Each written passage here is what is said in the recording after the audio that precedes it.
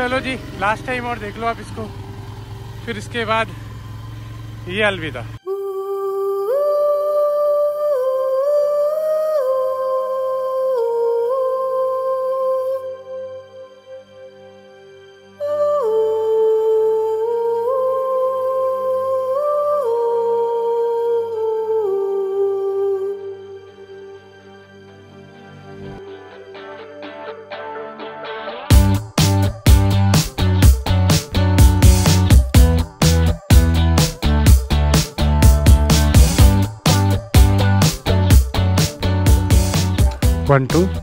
One two उम्मीद करता हूँ वॉइस रिकॉर्ड हो रही हो, वरना गोप्रो में ना अगर आवाज़ रिकॉर्ड नहीं होती है, गड़बड़ हो जाती है। फ़िलहाल, अबे उठ जा, अबे उठ जा, मैं तो उठ गया। तू तो उठ जा। ऑलरेडी इस तो अभी बज रहे हैं सुबह के 5:58 और हम लोग निकल रहे घर से सीधा नेपाल के लिए।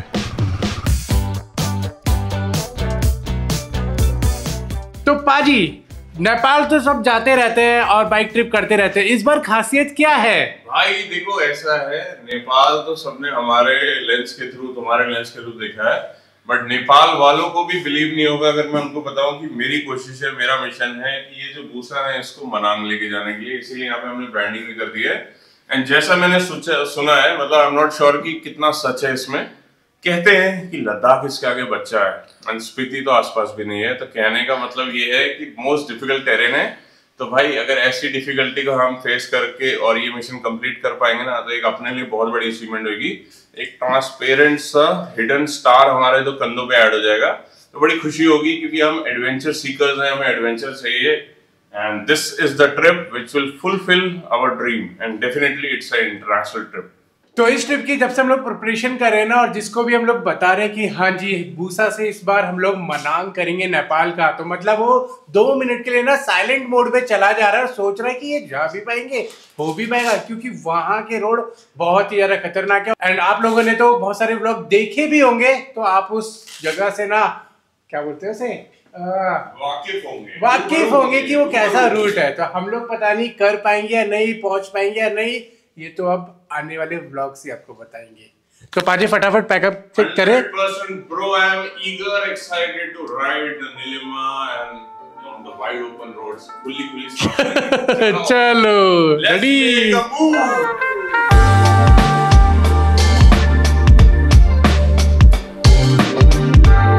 सुबह सुबह ना दिल्ली क्रॉस करना बड़ा मुश्किल हो गया। फ़िलहाल अभी हम लोग पहुँच गए यमुना एक्सप्रेस वे पे जो दिल्ली का ट्रैफ़िक झेला है क्या बताऊँ मैं आपको?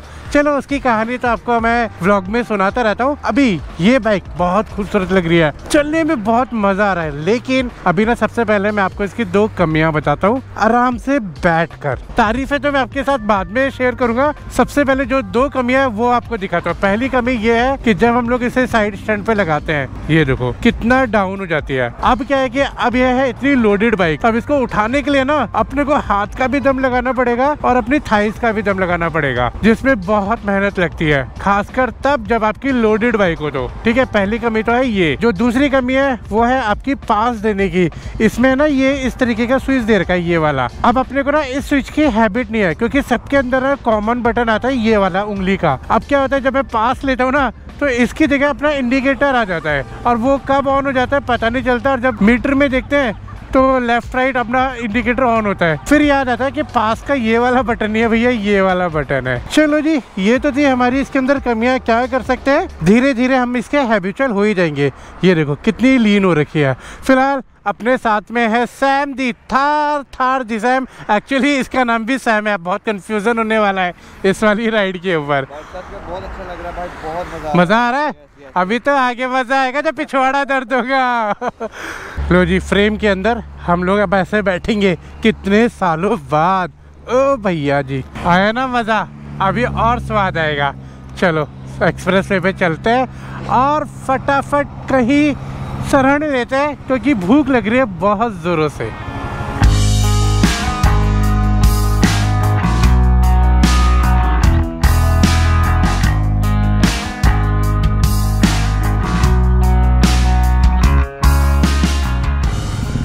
आप देखो लोगों का रिएक्शन है ना?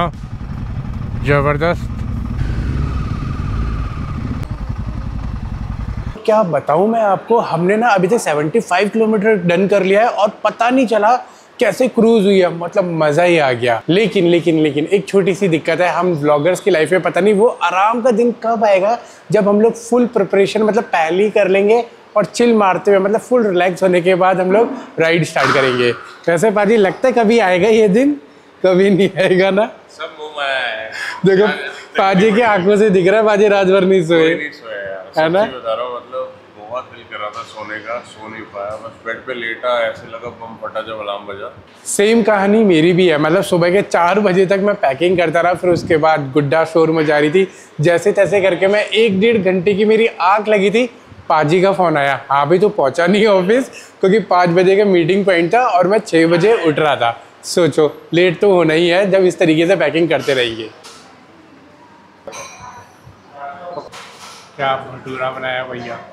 ओहो हो। क्या ब्यूटीफुल लग रही है यार, सच में। बहुत अट्रैक्टिव लग रहा है इसका गोल्डन कलर खासकर इसके रिम्स पहले ना मैं इसके रिम्स को लेके ना थोड़ा सा वो हो रहा था वरी की यार थोड़ा अजीब से लगेंगे, लेकिन जो इसके रिम्स बहुत, जो ग्लिम्स अप दे रहे हैं, ओहो, मज़ा ही आ गया यार। खूबसूरत। चाय चाय चाय। सुबह की चाय। सच्चाई। सच्चाई। सच्चाई है सच है। चलो जी खा पी के हो गए हम लोग मस्त निकलने के लिए रेडी लेकिन पता है क्या है? अभी जैसे ही पाजी आए ना इस तरफ़ बाइक बैक करके उन्होंने पाजी ने पूछा मुझसे कि तूने नाम रखा नहीं रखा? तो मैं तो सोच रहा था वही पुराना निम्बस 2.2 रख देंगे लेकिन पाजी ने सजेस्ट किया कि इसका नाम रखते हैं बेबी जी और वैसे भी आप देखो यार खुद देखो मतलब पाजी के पास जी एस ए बारह सौ पचास है ब्लैक एंड येलो मतलब ब्लैक एंड गोल्डन सेम वही लुक देती है।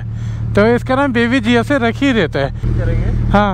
ऐसे बड़ा बड़ा जीएसए लिखते बारह सौ ऊपर एक छोटा सा लिखते बेबी। बेबी। लेट्स गो अगर सिंपल बाइक हो ना तो कोई दिक्कत नहीं है लेकिन जब टॉप बॉक्स पैनियर्स लगे होते हैं ना तो फिर मेंटेन करना बहुत मुश्किल होता है। लेफ़्ट और राइट साइड बहुत देखना पड़ता है। वाओ ड्रीम बाइक है यार ड्रीम बाइक वैसे आप लोग सोच रहे होंगे कि मैं मोटो ब्लॉग कम क्यों करूँ? एक्चुअली इसको क्रूज करने में इतना मज़ा आ रहा है ना। एक मन कह रहा है कि अभी थोड़ा सा ना इसको एंजॉय कर लूँ मशीन को। मतलब इसको क्रूज करके ना लाइक ऐसा फील आ रहा है कि जैसे कोई मैं बड़ी बाइक क्रूज कर रहा हूँ। यू नो इजीली 130 हम लोग चल रहे हैं। सबसे अच्छी बात है स्टेबल है। पहले वाली हिमालयन जब मैं चलाता था तो 90 के बाद 9500 पे ना थोड़ा सा मेरे को डर लगने लगता था उसके अंदर। लेकिन देखो, आपके सामने मैं सिर्फ़ वन थर्टी क्रूज कर रहा हूँ which is very normal for this bike I love to be cruise on same speed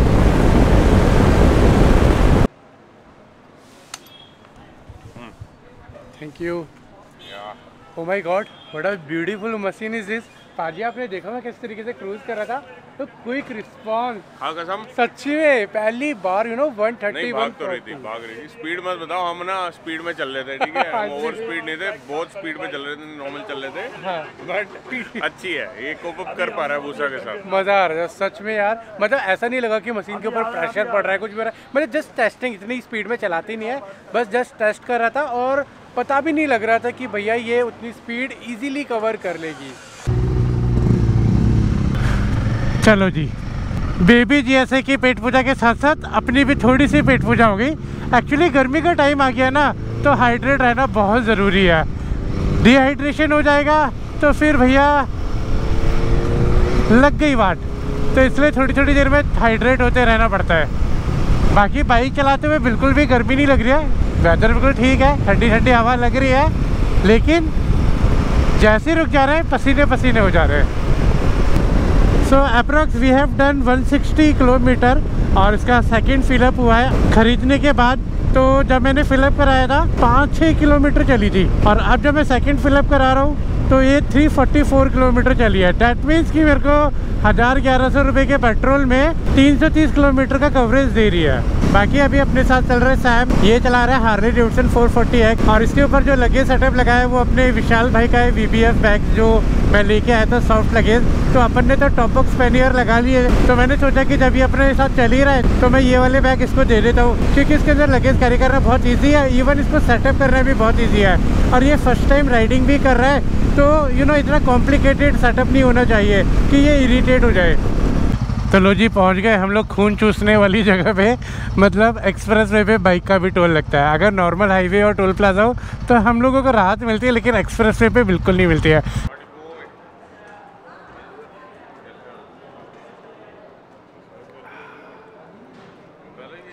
भाई ये पीना तो बनता है। जो अभी मैंने किया है ना ये तो पीना बनता है क्योंकि एकदम से साँसें रुक गई थी जो अभी मैंने किया।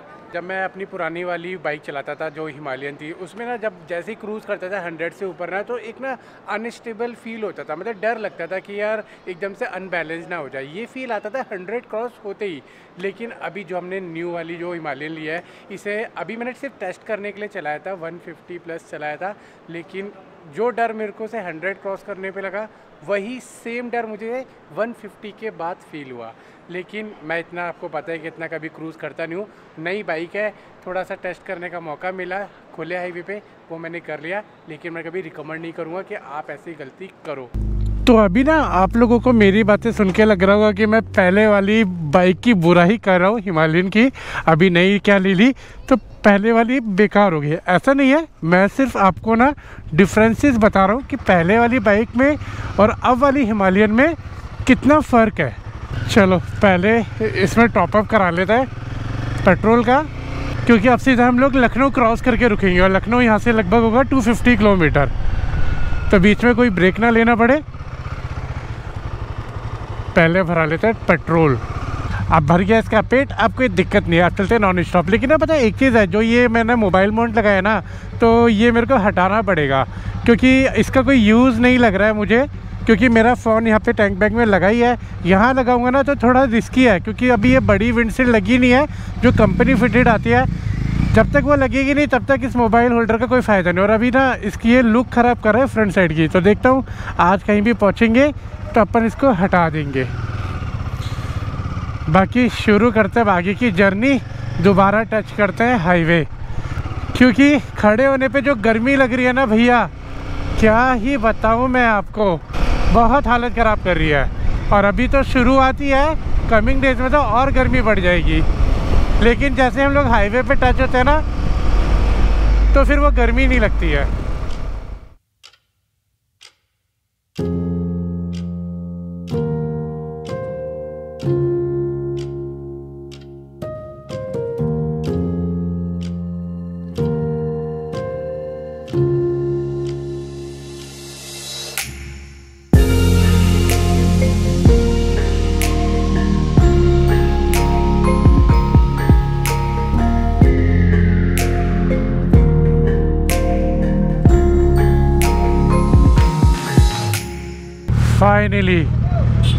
लखनऊ के टोल प्लाजा को हम लोग ख़त्म कर रहे हैं। मीन लखनऊ पहुँच गए यार। सच में थक गए यार। आज धूप की वजह से गर्मी की वजह से।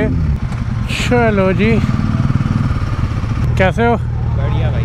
बहुत टाइम से लोग वेट कर रहे थे आप। कितना देर हो गया? बहुत टाइम हो गया। हम लोग को हो गया अप्रॉक्स हम लोग बारह बजे से वेट कर रहे हैं। ओ बाप रे। अबे, ये तो कुछ ज़्यादा ही टर्निंग होगी। नहीं यार, अभी एक दिन में इतनी टर्निंग नहीं होती है। रुको आफ्टर इफ़ेक्ट अप्लाई कर तो ज़्यादा हो गया। अब ठीक है। रूम में लाइट थोड़ी कम थी। फ़िलहाल हम लोग पहुँच गए near about Ayodhya, Lucknow cross हमने कर दिया था। प्लान तो था गोरखपुर पहुँचने का, लेकिन चलते चलते थक गए थे। तो हमने सोचा, यहीं लेते हैं रूम तो कल करेंगे चक दे फटे नब्बे के लिए सवेरे अयोध्या, रात नेपाल है पाजी। और यहाँ पे पाजी का कच्चा निकल चुका है यहाँ पे ये बंदा लेट चुका है। हमारे रूम में ना ये कोई भाई जब लौंडे लौंडे रहते ना तो ऐसे फैल जाता है मामला। Boys! बहुत ट्रैफ़िक था लखनऊ के अंदर तो हमने सही नहीं समझा लखनऊ में रुकने का हमने सोचा कि बाहर निकलते हैं ताकि कल जब हम यहाँ से अपना आगे का ट्रिप कंटिन्यू करेंगे तो यू नो हैक्टिक फ्री रहेगा और फटाफट फटाफट हम लोग नेपाल के बॉर्डर पहुँच भी जाएँगे। तो ये है बहुत बढ़िया नीट एंड क्लीन सा रूम रीजनेबल हमें मिल गया था। और हमने ऑक्यूपाइड कर लिया। बाकी अभी थोड़ी देर में खाना खाते हैं। हाँ क्या हुआ?